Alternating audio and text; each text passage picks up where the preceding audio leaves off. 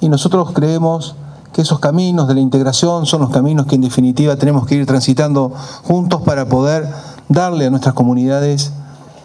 las respuestas que de otra manera serían muy difícil poder lograrlas. La integración sigue siendo una palabra clave en el siglo XXI, lo fue cuando se tomó la decisión de fundar el Fuerte Población Nuestra Señora del Carmen. Nosotros somos una necesidad y una consecuencia de esa eh, necesidad, valga la redundancia, que tenía por entonces la corona española de integrar la Patagonia, que era una zona vacía tal como se la representaban los mapas de la época, a el resto del futuro virreinato del Río de la Plata que se crearía unos años después de la fundación de este lugar. Y España toma la decisión de mandar aquí a un agricultor andaluz para que pueda fundar una población con capacidad de autosostenerse y a partir de allí tener una presencia permanente en este lugar.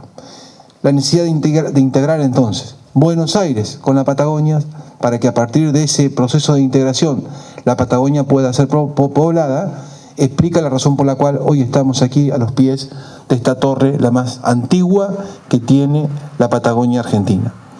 Y en ese esfuerzo de nuestros pioneros está tal vez el principal legado que nosotros tenemos que recuperar cada año cuando celebramos este día. Por último, quiero eh, compartir con ustedes lo que ustedes ya conocen, pero para nuestro gobierno es muy importante porque lo hemos comenzado, hemos comenzado a ejecutar esta obra este año. Es la obra más ambiciosa del Plan Castelo, la segunda más ambiciosa desde el punto de vista de lo que significa la inversión económica de la provincia después del gasoducto de la región sur, que es la planta de tratamientos de líquidos cloacales que se está ejecutando a unos pocos kilómetros de, la capital provincial, en una amplia extensión de superficie, se van a hacer piletas en eh, una extensión de 75 hectáreas aproximadamente. Eh, es un sistema que permitirá que las aguas, una vez tratadas, se apliquen al riego para no devolver nada ya al río. Y esta decisión que tomó el gobernador Alberto Bretinec de invertir en la capital provincial tamaña obra como la que se está haciendo, es realmente lindo compartirlo en un día como hoy, porque sabemos que la comarca, nuestra comarca, si tiene un elemento distintivo, diferenciador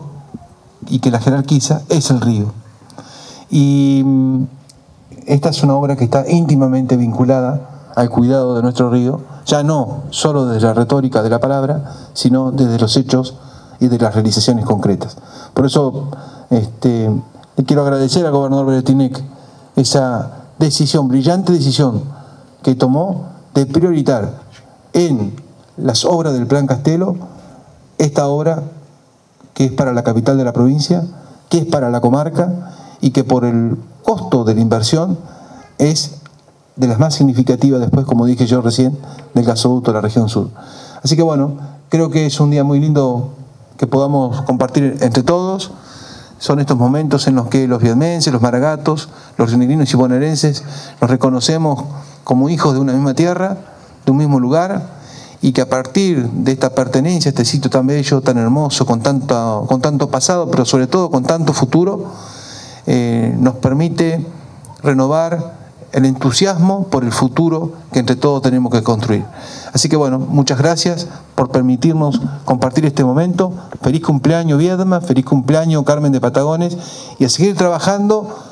con la misma actitud que tuvieron los pioneros, que fueron capaces hace 240 años de poner en marcha un sueño que hoy es una bella realidad. Buenos días a todos.